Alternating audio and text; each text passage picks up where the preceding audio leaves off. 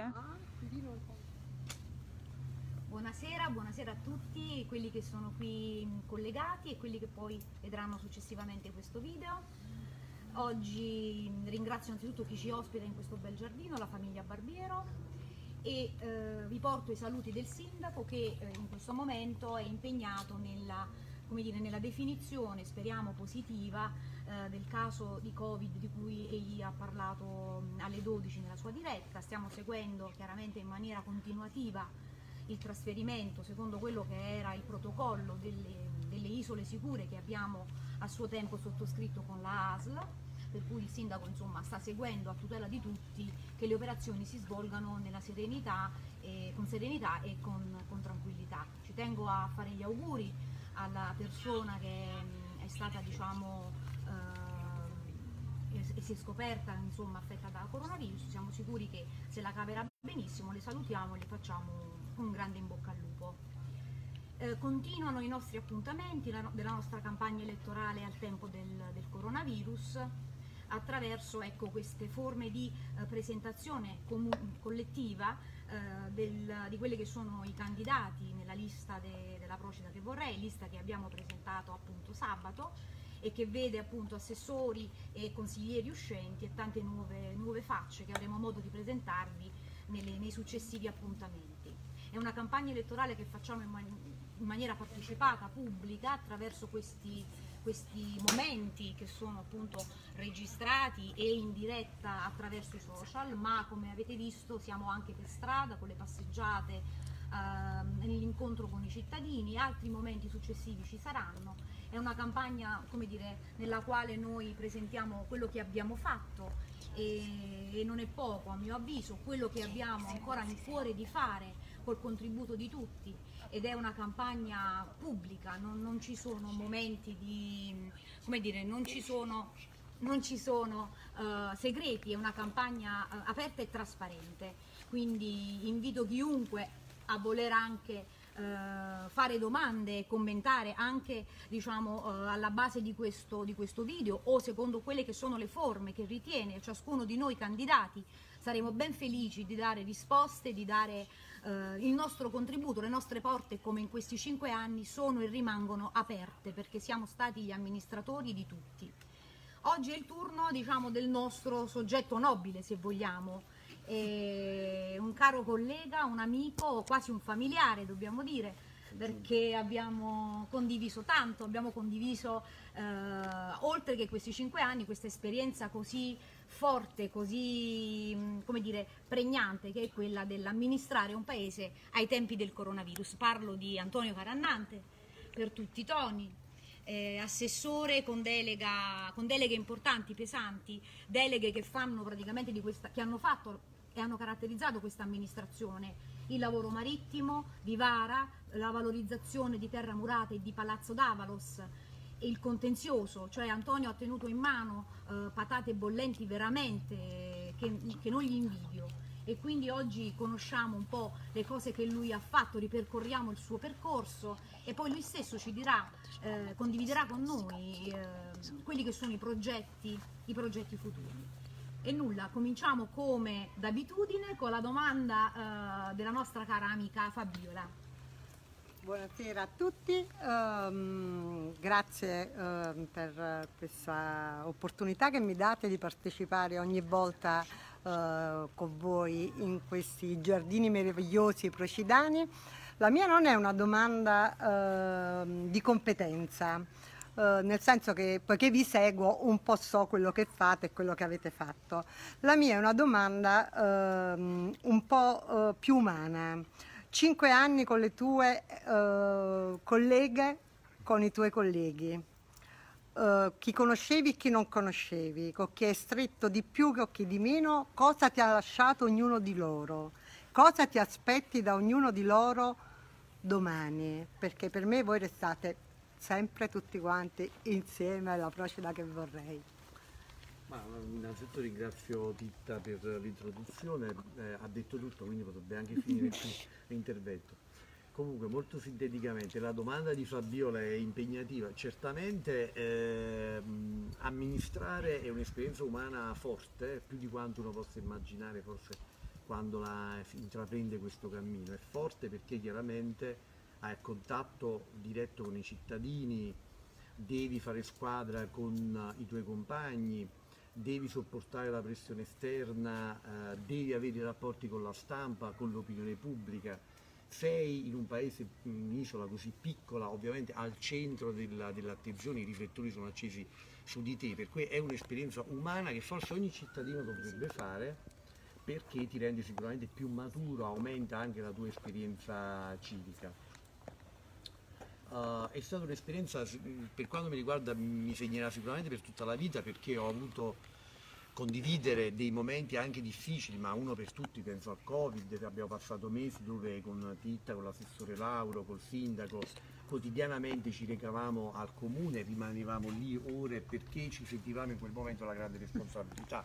Dico un episodio per tutti, ma dico anche la fase iniziale, quando ci siamo ritrovati sull'orlo del dissesto, abbiamo dovuto fare gruppo anche non conoscendoci eh, tutti benissimo e quindi abbiamo dovuto aiutarci l'un con l'altro nel, eh, nell'approntarci a questa nuova avventura. C'era il waterfront da, mm, da portare avanti appena veniva verso il finanziamento, c'era la Corte dei Conti che ci convocava.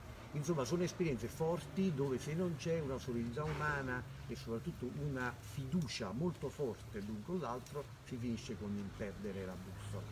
Quindi io ringrazio i miei compagni di viaggio perché con loro ho vissuto veramente cinque anni, certo ci sono stati momenti di tensione, abbiamo litigato, però penso che tra persone che si stimano e si vogliono bene anche il momento difficile si supera, anzi vuol dire che il rapporto è vero e non è finto e quindi anche se qualche volta ci si manda a quel paese, ma il fine ultimo è quello di fare il bene del paese. E non è un, un luogo comune, penso che questi cinque anni altro che odio sociale e spaccatura. Abbiamo, siamo sempre stati a disposizione dei cittadini, veniamo contattati su Whatsapp, su Facebook. Abbiamo un sindaco che rimane 12 ore sul, al comune, in qualsiasi momento è possibile parlare con lui e con gli assessori, tant'è che molte volte ci contattano su Messenger, su Facebook e sempre e comunque trovano una porta aperta. È chiaro che non tutte le richieste possono essere accolte, ma l'amministrazione ha il compito di lavorare per fare in modo che le istanze dei cittadini eh, possono essere eh, esaurite. Quindi io a questa tua domanda, alla, alla domanda di Fabio, rispondo sì, è stata un'esperienza che mi segna sicuramente per il resto della, della mia vita in senso positivo, perché mi ha insegnato anche cosa significa affrontare insieme eh, delle esperienze che sono importanti non solo per te stesso, ma per la comunità in cui sei cresciuto e continui a vivere.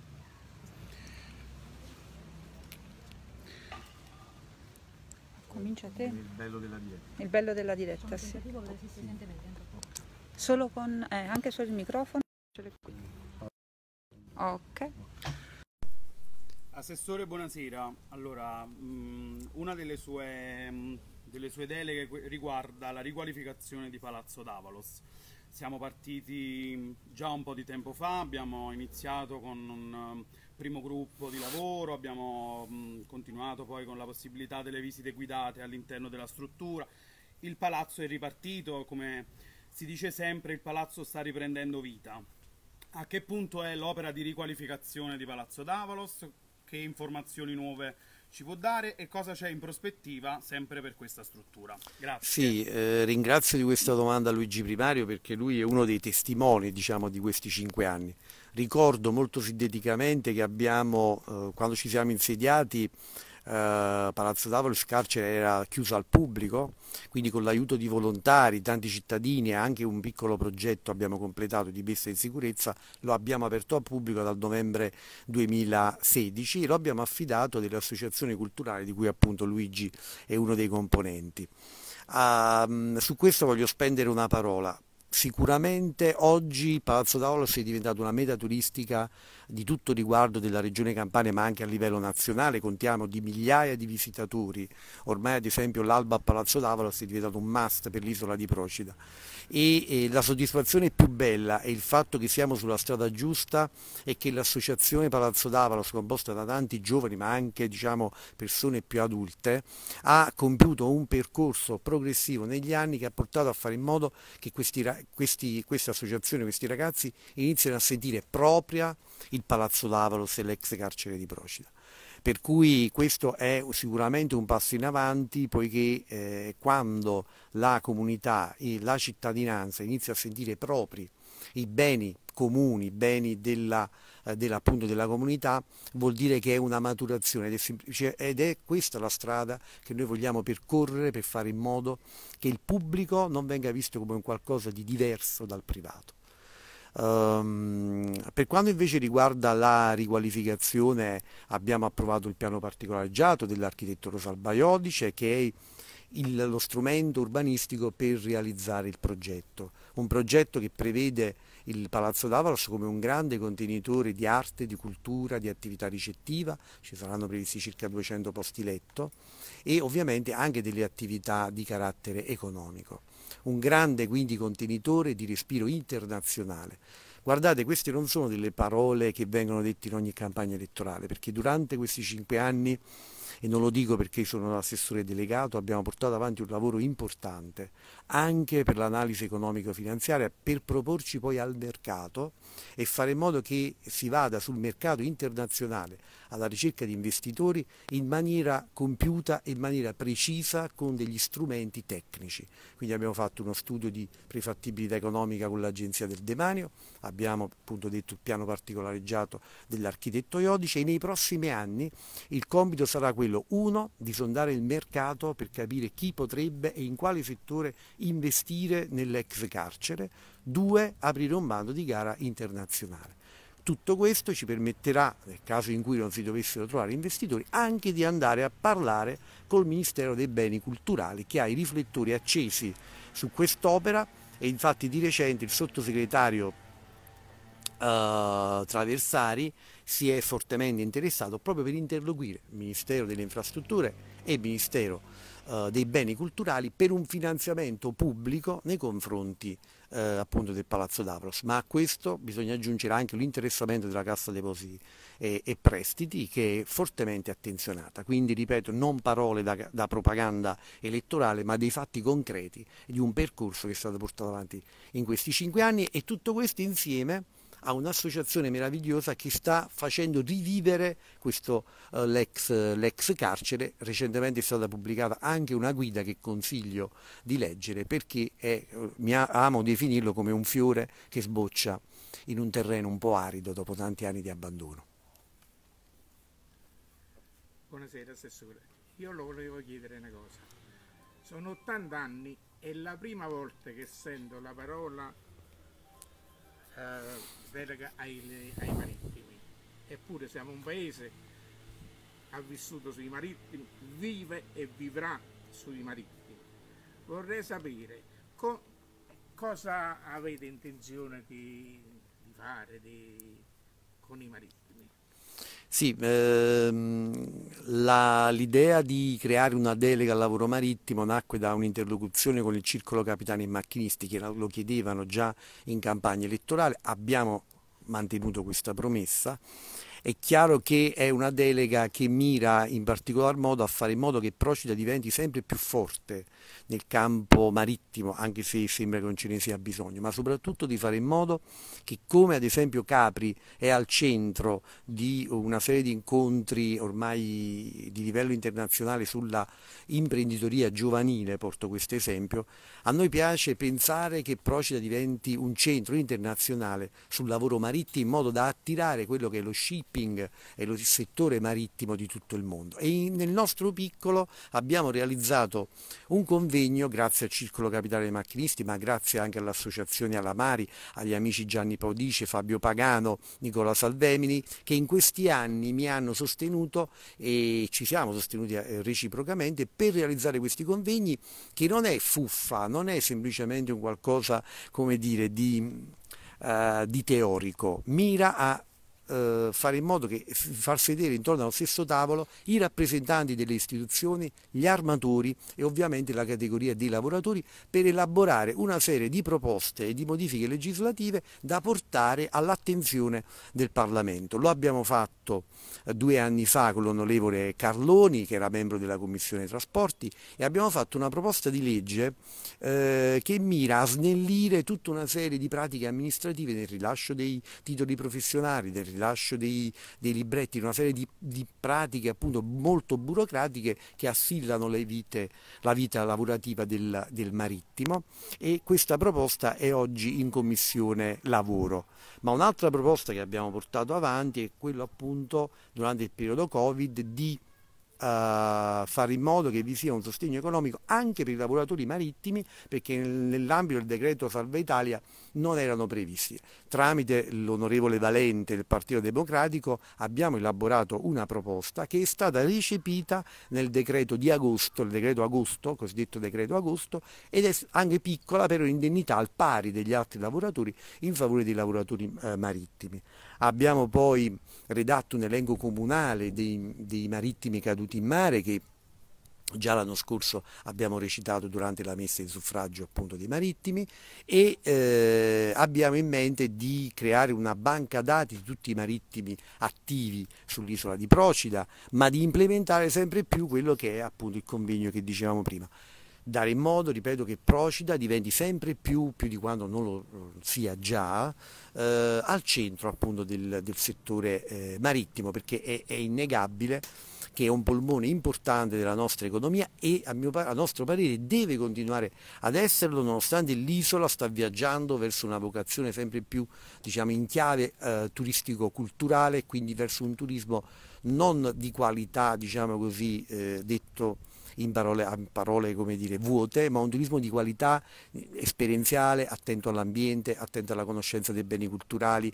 attenti a fare in modo che vengano sempre più dei viaggiatori e non semplicemente dei turisti sulla nostra isola, che quindi siano rispettosi del territorio e ci arricchiscono sempre di più.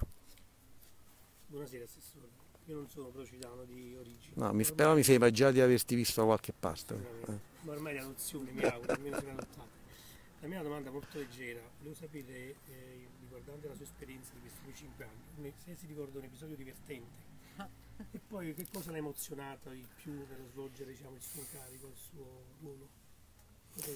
Io di leggero, sì, una domanda, una domanda leggera fa caldo. Quindi... Sì, no, guarda, allora l'esperienza amministrativa io, io, dico che tutti i cittadini, continuo a dirlo che tutti i cittadini dovrebbero farlo perché vai dall'altro lato della barricata, anche se non dovrebbe essere così e, e tra scartoffie varie litigate e diciamo così e anche senso molte volte di frustrazione perché non riesci ad accontentare quello che tutto ciò i cittadini ti chiedono nel senso buono del termine. E, mh, c'è sicuramente anche l'episodio divertente e più di qualcuno. A me quello che, che amo ricordare eh, sono diversi però forse quello più curioso mi capitò qualche estate fa dove un ristoratore dell'isola penso poco prima di Ferragosto, mi chiamò e disse guarda c'ho un problema, chiama i vigili perché ho una capra sulle scale eh, vicino al ristorante e quindi ho parecchia gente a cena e questi si mettono paura e stanno disdicendo. E mi ricordo che c'era una festa di tutti i trentenni, 25 cioè ragazzi molto giovani, che erano tutti gasati per questa cena e quindi chiaramente ehm, volevano chiaramente festeggiare questa io eh, andai, andai, sul posto perché i vigili, ahimè, non risposero, e, nota dolente, e quindi andai sul posto. Andai sul posto e a mio parere io avevo anche io paura di questo caprone, poi tutto sommato, che era un proprio caprone, e il caprone a un certo punto io cercai di chiamare i veterinari, che erano Veronica e, e il marito, che ringrazio ancora, Veronica Varone, e a un certo punto il caprone, quando vennero i due veterinari, eh, cominciò a salire sulla, sulla, piccola montagna. E devo dire la verità che la dottoressa Varune, con mia grande sorpresa, cominciò a inseguirlo su questo dirupo. Il caprone però, non tanto caprone, prese un'altra strada e sparì al tramonto. Allora sembrava che il pericolo fosse cessato. L'indomani mattina, e ce ne andammo, L'indomani mattina mi richiamò il ristoratore e disse guarda il caprone è rispuntato sulle scale, la gente deve andare a fare il bagno.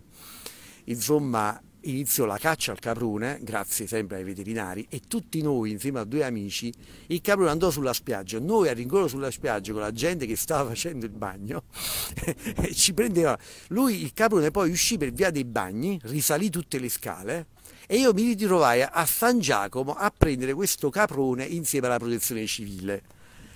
E un uomo che stava a San Giacomo mi disse, è la prima volta che vedo un assessore con un caprone. Allora, E chi era il caprone? questo, è, questo bisognava capire. Questo è, sì, c'era da pensare, però questo poi per dire, questo per dire cosa significa fare l'assessore in un piccolo centro, no? Nel senso che in un piccolo, in un piccolo centro eh, l'assessore fa anche questo, ma per carità non è, non è da, da disdegnare, però quando parlano di Parla di contatto e di caprone, di spaccature nel paese mi viene un po' veramente da sorridere. Devi dare il microfono al professore, Un attimo, sente. facciamo sempre per il bello della diretta. Buonasera, devo fare le mie congratulazioni a questa amministrazione perché finalmente ha risolto alcuni problemi gravosi e annosi che si portavano da anni e che adesso è facilmente palpabile che sono stati risolti. Ad esempio il potenziamento dell'illuminazione pubblica in alcune strade. In questa io mm, ho prestato il mio muro per poter applicare le lampade è un'ottima cosa. Il problema della coricella, ad esempio, che era una, una fogna a cielo aperto, adesso è stato risolto.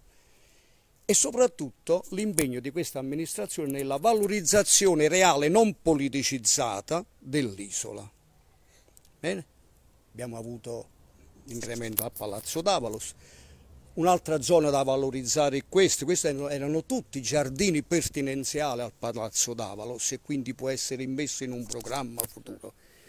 Perciò mi chiedo quali sono i progetti futuri di questa amministrazione. Grazie.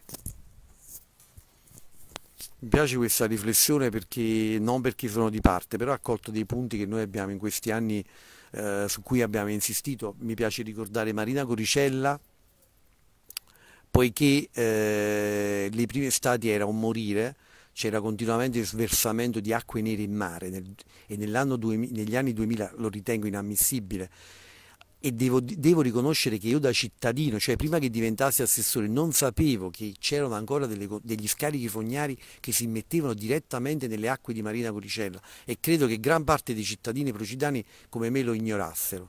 Quando lo seppi, ed era il 2016, eh, badate bene, neanche appena insediato, eh, ricordo che feci subito un punto con la SAP e, e- chiesi spiegazioni di questo e loro mi dissero che non c'era una mappatura degli scarichi, per cui non erano in grado di capire chi scaricava.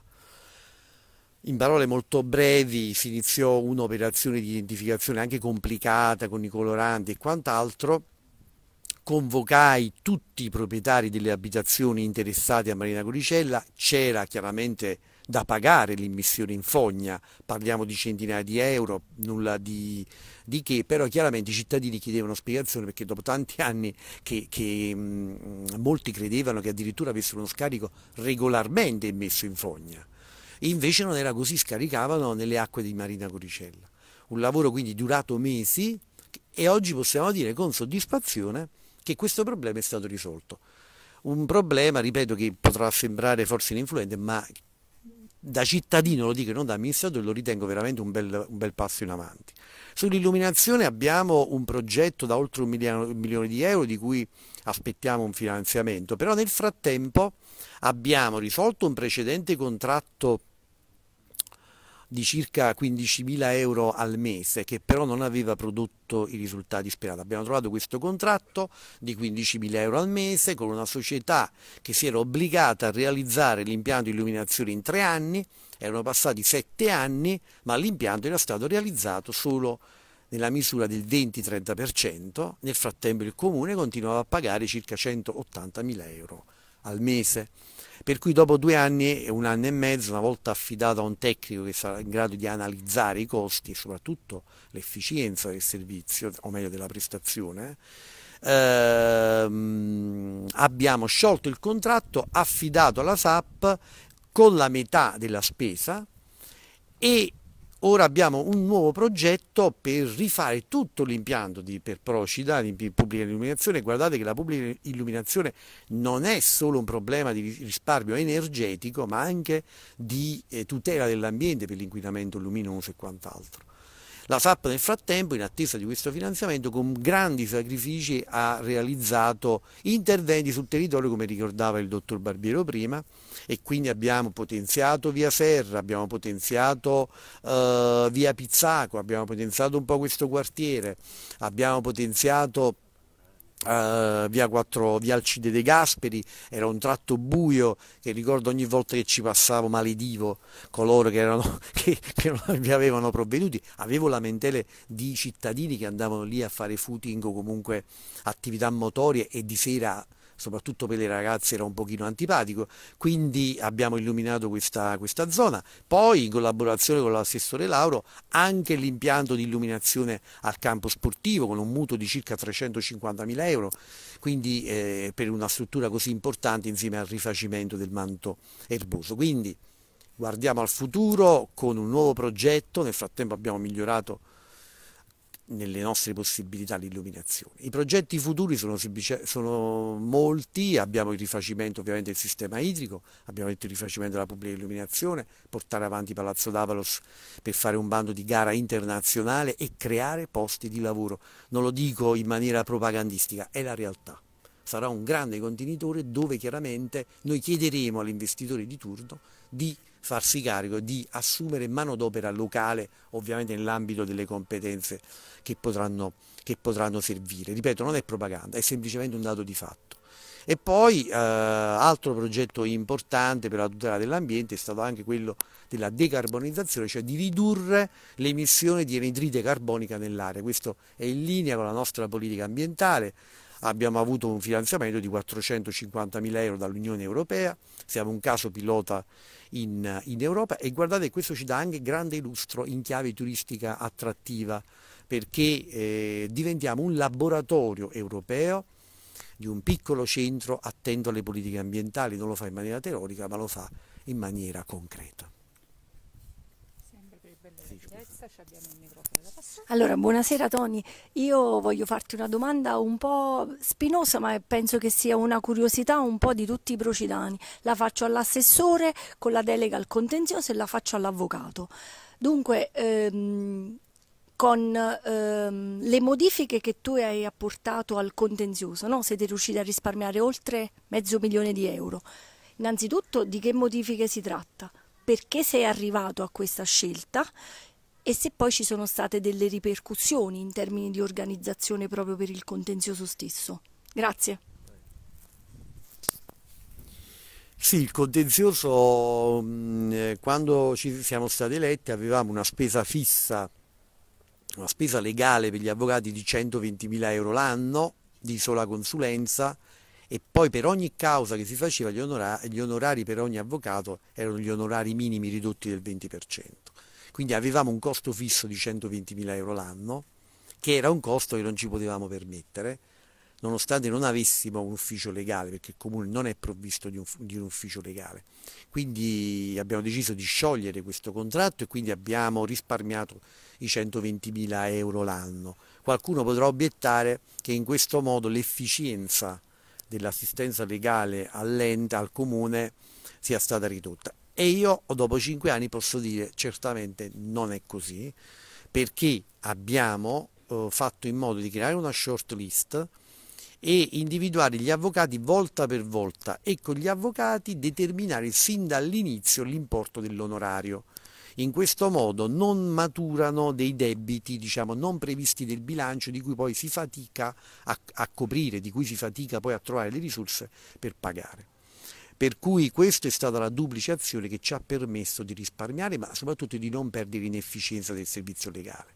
A questo poi mi piace ricordare che quando abbiamo avuto un po' di disponibilità nelle, nelle, nelle risorse del comune, uh, abbiamo, mi sono messo proprio al telefono tipo commissario diciamo, liquidatore a chiamare i creditori dell'ente e fare in modo che accettassero una somma diciamo così, ridotto, che ci facessero uno sconto, detto in parole molto, molto semplici. In questo modo la massa di debiti che avevamo, una parte chiaramente, si è ridotta del 50% e quindi abbiamo avuto un altro risparmio sicuro intorno ai 300-400 mila euro.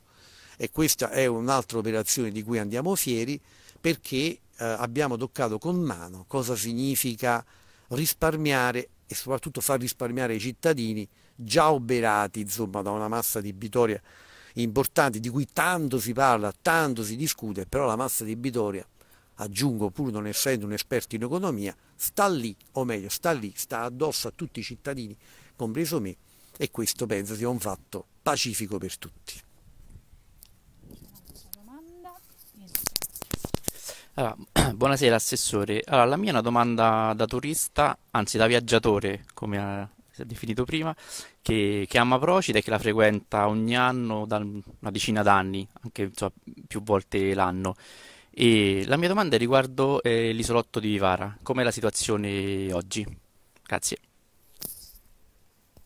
Vivara croce e delizia, diceva qualcuno. Eh? Sì, eh, innanzitutto benvenuto all'amico viaggiatore, sempre benvenuto sull'isola di Procida. Mm, uh, sì, Vivara eh, ovviamente è una riserva naturale dello Stato ed è anche proprietà privata. Oggi è proprietaria degli Eredidiana, prima della fondazione Albano-Francescano. Appena eletto era chiusa al pubblico perché gli immobili erano sotto sequestro a causa di un'indagine in quanto gli immobili non erano stati messi in sicurezza. Per cui convocai un po' tutte le parti, il comitato che gestisce Vivara, c'erano appunto il presidente della fondazione, il procedimento penale era finito, però Vivara restava chiusa e mi ricordo che giravo un po' le varie porte e tutti mi dicevano non è nostra competenza dare l'ok per l'apertura. Alla fine riuscimmo a fare una riunione in collaborazione col comitato, perché ripeto vi è un comitato del Ministero che gestisce Vivara, ci sedemmo intorno a un tavolo, la fondazione allora non aveva la forza economica di organizzare le visite e io sommessamente me ne feci carico non sapendo, tornando al comune, cosa mi avrebbe detto il sindaco, però mi presi, come dire, la briga di dire il comune di Procida vuole organizzare le visite, perché poi detto così è semplice, ma organizzare le visite significa mettere su una macchina organizzativa, significa un sistema di prenotazione, avere delle persone che ci lavorano. Ad ogni buon conto la cosa andò bene e nell'aprile 17 abbiamo riaperto al pubblico in maniera penso per la prima volta sistematica, c'era un servizio di prenotazione. Dove nacque il problema è chiaramente su una macchina burocratica un po' lenta perché si pretendeva che le prenotazioni dovessero avvenire con una richiesta dei documenti, del modello di prenotazione, della firma di un modello di dichiarazione di responsabilità, insomma per fare una visita a Vivare ci voleva un'email con sei allegati. Qui c'è stata un'insistenza presso il Ministero e presso il Comitato perché questa procedura venisse snellita. Nel frattempo è sopraggiunto il Covid, Oggi il comitato è stato sciolto dal Ministero, vi è un commissario che ha recepito tutte queste istanze e di questi viaggi che negli anni ho fatto al Ministero, tipo alla Madonna di Lourdes, e, alla fine diciamo, tutte queste procedure sono state snellite, ora siamo in attesa di un, di un taglio di alberi che non si è potuto effettuare in questi mesi avverrà da parte di una società della SMA, di una partecipata della Regione Campania e dopo ritorneremo appunto a, a riaprirlo con uno snellimento maggiore con le guide del Sorsola Bene in Casa, formate dal Sorsola Bene in Casa. Il sogno è quello, in questi anni seguito, di fare in modo che gli scavi archeologici micenei, un'altra bella scoperta che ho fatto da assessore, forse da cittadino ignorante, sia eh, finalmente aperto al pubblico e ci sia una fruizione pubblica degli scavi archeologici micenei che tanti turistici ci chiedono. C'è un villaggio nella punta che guarda Ischia che io eh, nel luglio del 2015 appena eletto, ricordo che era al ristorante alla Chiolilla e c'era una, una, giornalista del Corriere Mezzogiorno alle mie spalle, che, di cui poi sono diventato amico, e incontrai un professore lì a cena e mi disse sai domani vado agli scavi io ignoravo che ci fossero, ammetto la mia ignoranza, e allora dissi domani mattina vengo con te. La giornalista si intrufolò sapendo che io la mattina lì si fece trovare sette di buon mattino che faceva molto caldo e insieme scoprimmo e vi dico che fu veramente uno dei momenti più belli di questo assessorato, non lo dico per retorica, ma scoprire tanti ragazzi che lavorano a dei reperti di 1500 anni fa in uno scenario meraviglioso, penso che valga la pena. Allora, io invece su, mentre tu parlavi e sai bene che per me, diciamo, è un argomento di professione, mentre dicevi questo, pensate di fare delle guide mentre ci sono gli scavi? Cioè, una cosa che volevo sapere, proprio per far sì che ci sia una sensibilità, sensibilità maggiore alla storia archeologica di Procida, che è scritta su tantissimi libri, ma che in realtà, ahimè, è poco conosciuta, in principio da noi procidani. Ecco, se in, nelle guide sarà previsto un, delle visite durante gli scavi con gli archeologi che facciano didattica e divulgazione del loro operato. Questa la butto lì perché ora mentre parlavi mh, mi sono immaginata questo tipo di attività, quindi se so, con il suo Orsola ha intenzione anche di proporgli questo tipo di, di lavoro. Sì, su questo è un sogno, la, la, fruibilità degli scavi è sicuramente un sogno e rappresenterebbe un ulteriore attrattore per l'isola in chiave turistico-culturale. Questo sicuramente, ma dirò di più, eh, vi è un progetto eh, del Sorso Bene in Casa di realizzare tipo una copertura degli scavi e quindi renderli proprio visitabili in maniera eh, importante e sicura. Voglio solo dire che eh, per realizzare il sentiero che conduce agli scavi parliamo di un centinaio di metri al massimo. Io purtroppo sono, io penso che l'Italia è un paese ucciso dalla burocrazia, anche questo è una mia battaglia di questi anni, l'ho fatto nel mio piccolo, nei miei settori. E anche per realizzare questo sentiero, che sembra una sciocchezza, ma farlo in una riserva naturale per 100 metri, significa mettere su un'organizzazione che eh, costa tanta burocrazia e tanta fatica. Però sono molto ottimista per i prossimi cinque anni perché già, già c'è una predisposizione di progetti d'altro e c'è un'ottima intesa con Solosso La Bene in Casa, ricordo sempre con grande affetto il professore Marrazzi perché è un professore di 70 anni ma con l'entusiasmo di un, di un ragazzino, a me le persone così piacciono, forse perché mi, mi rivedo un po', però eh, senza quell'entusiasmo certe cose non si possono fare. In questi anni su Vivare è stato detto di tutto di più, molte volte c'è stata l'amarezza di scontrarsi contro il muro di gomma della burocrazia, però dopo cinque anni io penso che abbiamo abbattuto appunto una serie di ostacoli. Questi cinque anni saranno veramente gli anni di un rilancio come mai visto prima per l'isola di, di Vivara. Su questo oh, voglio aggiungere che poi nel frattempo abbiamo istituito il museo civico virtuale che ripro, riprodurrà tutti i reperti archeologici micenei e per la prima volta esporremo proprio il, i reperti, diciamo così, quelli materiali fisici, non solo virtuali, appunto di scavo, e lo faremo sicuramente prima delle elezioni. Stiamo là, il Covid ci ha un po' bloccato in tutte queste iniziative, siamo stati tre mesi fermi, altrimenti l'avremmo già realizzato. Uh, quindi tante belle cose che veramente arricchiscono l'isola, ma non perché le abbiamo fatte noi, per il piacere veramente di farle e perché tanta bellezza non può restare chiusa in un cassetto o negli scantinati del Palazzo della Cultura. Dell'ec- ecco, ci scusiamo per l'interruzione. Volevi chiudere o passi? Sì, Giovanni, tu volevi dire qualcosa? Curiosità, ma giusto perché Chiedo scusa, eh, una curiosità, vista Assessore che ti ho sentito spaziare su tutto lo scibile umano, voglio dire, e quindi mi farebbe piacere capire nella prossima amministrazione di cosa ti vuoi occupare, delle stesse tematiche oppure pensi che ci sia qualcosa che ti manchi e vuoi completare questa tua preparazione, tuo, questo tuo interesse, ecco, c'è qualcosa che ti appassiona?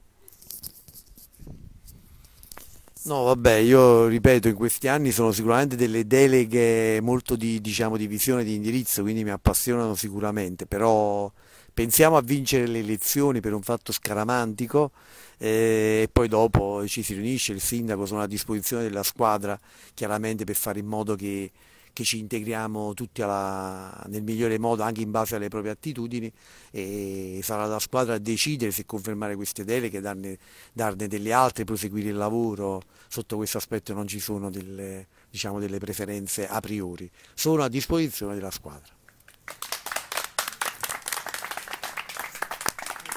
Grazie Antonio posso testimoniare direttamente che Antonio è una persona che mh, è un uomo diciamo che eh, spesso eh, mi sono trovata con lui a mettere mano praticamente nelle cose per, perché eh, al di là sua, diciamo, del suo stile, del suo, della sua signorilità, è uno che sa scendere anche in campo e sebbene in mocassini fa il suo eh, sporco lavoro. Abbiamo fatto eh, insieme diverse operazioni di volontariato civico, per cui posso testimoniare che la nostra amministrazione è un'amministrazione che non, è non, si, non, non poggia sul formalismo, ma anzi eh, ci piace scendere, mm, scendere, in strada, ci piace andare come dire, tra le persone, ci piace fare le cose, sporcarci le mani. Io posso dirlo in maniera come dire, abbastanza a ragion veduta.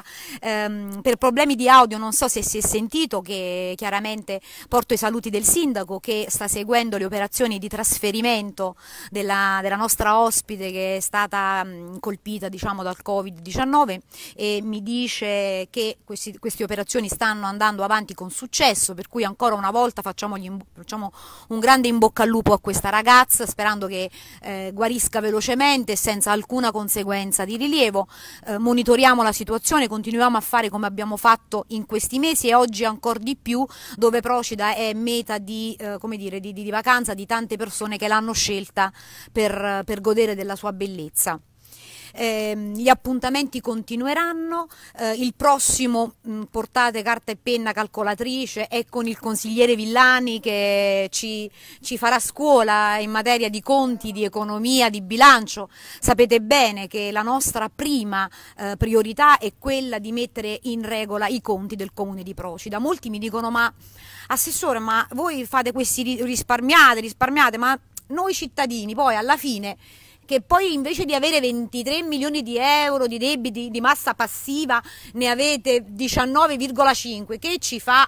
Ci fa cari cittadini, ci fa tantissimo perché tutto quello che questa amministrazione riesce a guadagnare con i risparmi di spesa, con una gestione virtuosa, que tutte queste risorse che con fatica vengono messe da parte, noi non le possiamo al momento investire nei servizi, ma dobbiamo ripi ripianare questo grande debito che ci viene dalle amministrazioni passate, ce lo impone la Corte dei Conti per, per evitare che venga dichiarato il dissesto, per cui quando il cittadino viene e mi chiede la panchina, piscina oppure ci chiede eh, la fioriera oppure ci chiede di intervenire su un problema, ebbene il problema dei nostri conti si riflette su questo, quindi vedete quanto è importante. Per pagare i fornitori, per pagare gli stipendi, per essere diciamo, un comune affidabile, quindi il discorso conti, il discorso economia, anche se può apparire lontano, è fondamentale per una buona amministrazione, non possiamo continuare a vivere sulle spalle delle generazioni future e noi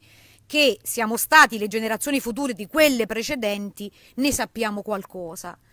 E quindi l'appuntamento è per mercoledì per, eh, il, diciamo, per la diretta Facebook del consigliere Villani. Siate numerosi, portatevi gli appunti e continueranno questi appuntamenti perché ribadisco, la nostra è una campagna trasparente, non è una campagna privata, è una campagna pubblica, noi siamo gli amministratori di tutti e come tali ci portiamo.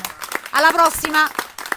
Tony, volevi terminare te? Sì, mi, mi associo alle parole del sindaco che sottoscrivo in pieno a proposito di sporcarci le mani, mi, mi piace poi ricordare tutta una serie di episodi mi ricordo che la prima estate che venimmo eletti, sì. scendemmo in piazza Marina Grande presso le varie attività perché allora la raccolta differenziata si faceva diciamo, in maniera un po' sportiva e quindi andavamo c'era il vice che mi instradava a capire come veniva fatta, la, come doveva essere la raccolta differenziata e quindi lei in maniera certosina diceva questo va bene, questo no e quindi mi ricordo anche Piazzetta San Rocco, insomma la pulizia delle spiagge, la pulizia delle spiagge esatto come prima eh, esperienza. E, e, e, per ultimo ci siamo anche, per non farci mancare niente, eh. anche il campo sportivo dove il vice sindaco si è meravigliato che stava con una zappa in mano, però detto questo, detto vabbè poi il tenimento agricolo, insomma l'esperienza, però questo per dire appunto ai cittadini cosa significa fare l'assessore in un piccolo centro, non certo quello di sedersi dietro una scrivania e eh, diciamo così tra le scartoffie varie, ma appunto di sporcarsi le mani. Grazie a tutti.